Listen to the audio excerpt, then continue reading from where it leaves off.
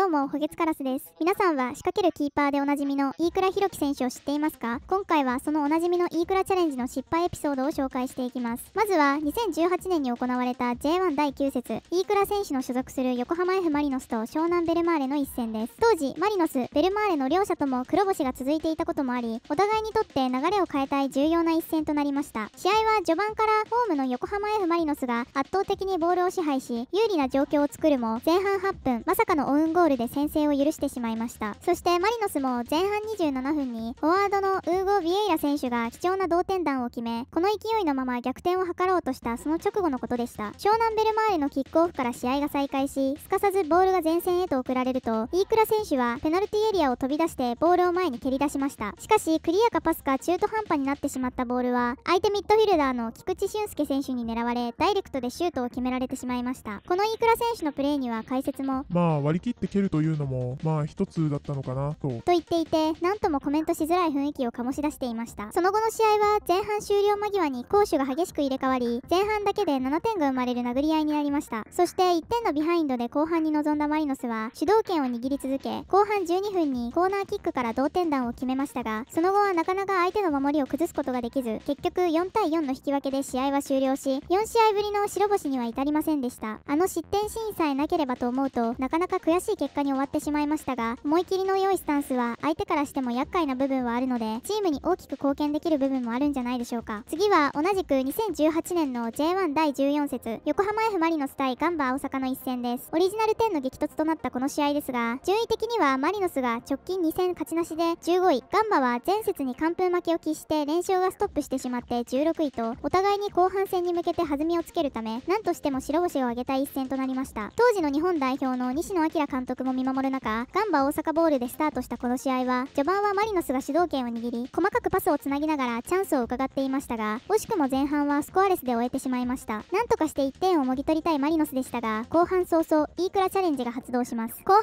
7分、飯倉選手はかなり高い位置を取っていましたが、ガンバ大阪のミッドフィルダー、藤本純吾選手はその隙を逃さず、センターサークルから超ロングシュートを放つと、ボールは飯倉選手の頭上をギリギリ越え、痛すぎる失点をしてしまいました。ただ、マリノスはすぐに同点に追いついてみせます。後半16分、ミッドフィルダー、天野純選手の仕掛けからゴール前でフリーキックを獲得すると、天野選手が直接ゴールを狙い、左足から放たれた正確なシュートはニアサイドをぶち抜き、同点弾となりました。その後、両者ともに交代カードを切るなどして果敢に攻め続けますが、なかなか得点にはつながらず、結局1対1のまま、スコアが動くことはありませんでした。実はこの試合、飯倉選手がこのような失点をするのは、そのシーズンで4度目で、J リーグが公表する試合ごとのトラッキングデータによると、ゴールキーパーにもかかわらず、7キロ以上走っている試合が多く、うろちょろしてるから失点してるんだ。などの批判も多く見られました。普通のフィールドプレイヤーで、約9キロから10キロ程度の走行距離が平均なので、そう考えると、ゴールキーパーにもかかわらず、7キロ以上走っている飯倉選手は、めちゃくちゃ走り回っていることがわかりますね。たくさん動き回ってくれるゴールキーパーは心強いですが、もう少しリスクを抑えてもいいという意見もわかるような気はしますね。次は2019年に行われた第28節、ヴィッセル神戸対サンフレッチ広島の一戦です。2019年、飯倉選手の所属する横浜 F マリノスに、パク・イルギュ選手というゴールキーパーが移籍してくると、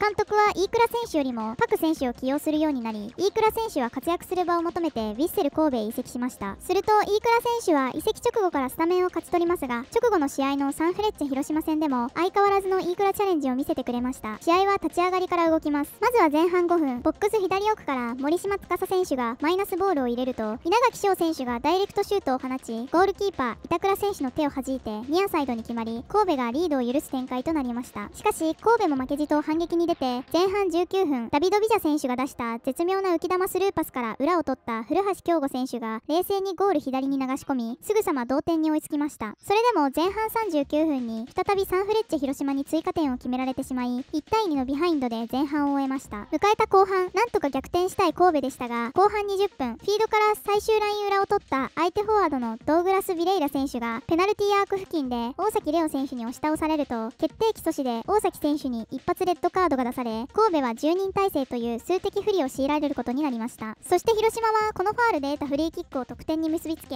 リードを2点に広げると、後半39分に川辺選手が4点目、試合終了間際にはドーグラス・ビエイラ選手が5得点目を決め、差が開いてしまいました。そして終了間際、ついに飯倉選手が見せてくれました。ディフェンスラインと同じくらい高い位置にいた飯倉選手にボールが渡ると、プレスに来た相手選手を華麗なターンで見事にかわしましたが2人目のプレッシャーをさらにかわそうとしたところで1人目にかわしたはずの森島選手に奪われてしまいそのまま無人のゴールに流し込まれ絶望的な追加点を決められてしまいました。最初にかわした時のターンにはさすがに会場も湧いたそうですが奪われた瞬間に実況はイークラが捕まったイークラが捕まった。と言っていたようです。ゴールキーパーが捕まるという表現は初めて聞きました。そしてそのまま試合は終了し結果的に神戸は2対6での大敗でリーグ戦3試合ぶりの黒星を喫してしまいました。ちなみに飯倉選手のプレーに対して SNS ではイークラチャレンジを2年連続で見れるとはイークラ劇場最高。ともはや批判を通り越したネタなのか分かりませんが盛り上がっていました。かなりリスクの高いプレーではありますがここまでファンを沸かせるのはある意味ファンタジスタですね。次は2019年第30節ヴィッセル神戸対ベガルタ仙台の一戦です。ヴィッセル神戸は当時イニエスタ選手ビジャ選手そしてポドルスキ選手などの名だたる選手を擁しながらもうまく連携が取れず残留争いに巻き込まれていました。それと同様にベガルタ仙台も下位に低迷していたためお互い落とせない試合でした。そして試合はベガルタ仙台のキックオフから始まりました。ベガルタ仙台は3バックを採用した541の布陣で前半から前からプレッシングをしていく姿勢を見せていきました。そして神戸はそのベガルタの構成に飲まれ開始からボールを奪って前へ運ぶことも少なくそしてセットプレーも多くされるなどボールを支配されていました。そんなきつい状況でしたが前半15分イニエスタ選手が起点となり小川選手が相手ディフェンダーの足に当てながら相手ゴールに押し込み貴重な先制点を獲得しました。このまま勝ち切りたいヴィッセル神戸でしたがが飯倉選手は期待を裏切らないプレーを見せてくれました。後半11分飯倉選手がペナルティーエリア内でボールを受けるとプレスに来た相手フォワードを華麗にかわしその流れで2人目も難なく突破。そして3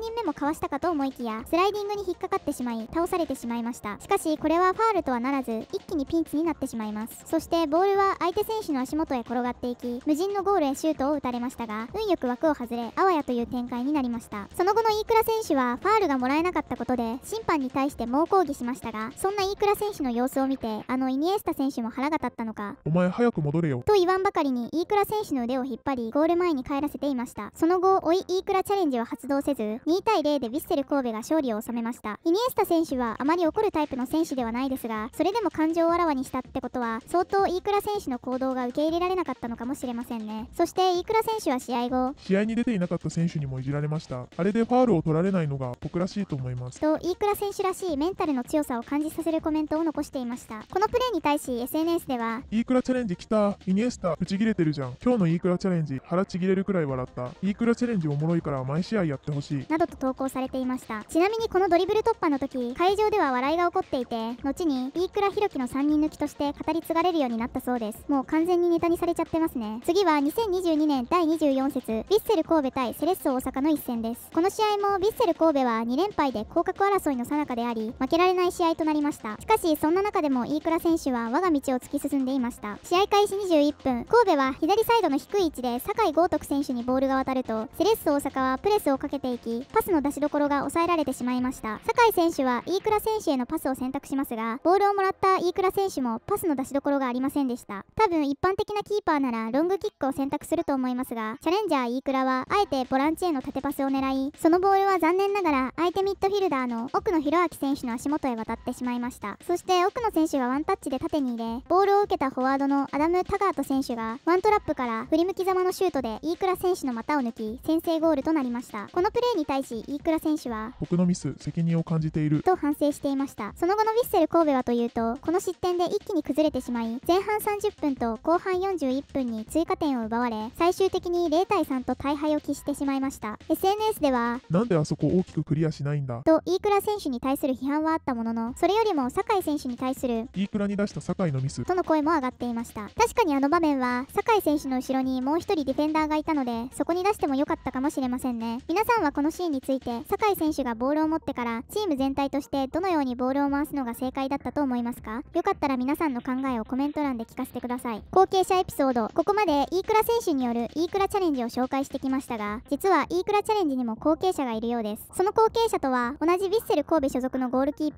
前川大也選手です。前川選手は191センチという身長に長い手足という日本人離れした体格を生かし届かないと思われるようなシュートにも手足をぐっと伸ばしてチームを窮地から救ってきました。同時に現代のゴールキーパーに求められる足元の技術にも定評がある選手です。切実に身長何センチか分けてほしいですけどね。そんな前川選手の前川チャレンジ事件は2023年6月10日に行われた第17節セレッソ大阪戦で起きてしまいました。試合は序盤から互いにロングボールを多用する展開となりテンポの速いサッカーではあったものの両チームとも攻めあぐね前半を0対0で終えました。迎えた後半開始早々5分セレッソ大阪のディフェンダー舩木翔選手のクロスをミッドフィルダークルークス選手が頭で合わせ先制点が決まりました。ホームのセレッソ大阪がリードを奪いましたがヴィッセル神戸も負けじとすぐに反撃に転じます。そして先制点から1分後の後半6分右サイドを突破した元日本代表フォワード武藤義則選手の美しいクロスから山口蛍選手が華麗なターンで相手ディフェンダーをかわし左足で押し込み同点に追いつきました。そのまま試合は後半ロスタイムへと突入し引き分けで試合が終わると思われましたがその直後のことでした。敵陣からのロングボールに対しゴールキーパーの前川選手がペナルティーエリアを飛び出してボールへと一直線に向かい胸でトラップしました。そしてそのまま右足でクリアするかと思いきやなんと痛恨の空振りをお見舞いしてしまいます。そして相手フォワードの北野颯太選手がダイレクトで押し込みすぐさまゴールネットを揺らされてしまいました。試合はそのまま終了し神戸は結局1対2で敗北してしまいました。このミスに関して前川選手は？完全に僕のミス。単純にクリアするより胸でトラップして前線につなげたいと思ったがミスにつながってしまった。とコメントすると神戸の吉田孝之監督は？今まで何度もチームを救っている。ミスはつきもの。とカバーをしていました。そして SNS では？さすがにこれは予想してなかった。これもう八百長だろ。受け継がれる意思前川チャレンジ失敗。と批判以上にネタにしている投稿が多く見られました。今回のプレーは確かに前川選手のミスではあるかもしれませんが飛び出しの判断自体は素晴らしいと思うのでこれからもアグレッシブなゴールキーパーとして活躍してほしいですね。ちなみにこの試合の後前川選手の奥さんは自身のインスタグラムを更新し息子の後ろ姿とともに聞きたくない言葉を耳にさせたくないから試合終了後すぐにスタジアムを出たけど泣きそうで顔を上げられない帰り道。